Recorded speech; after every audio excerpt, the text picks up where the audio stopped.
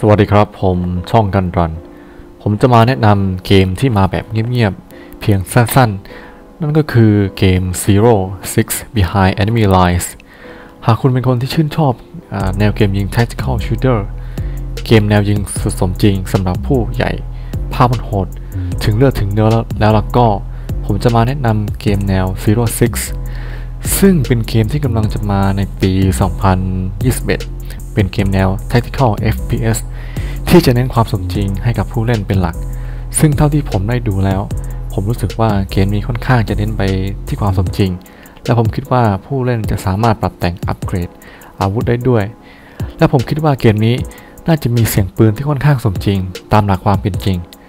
และสำหรับใครที่สนใจเกมนี้ก็อย่าลืมไปสมัคร เพื่อรอเล่นเบต้าหรือทดสอบเล่นกันได้นะครับ ซึ่งเกมนี้ยังไม่มีตัวอย่างให้รับชม และถ้าหากข้อมูลของผมผิดพลาดประการใดผมต้องขออภัยมาณที่นี้ด้วยครับ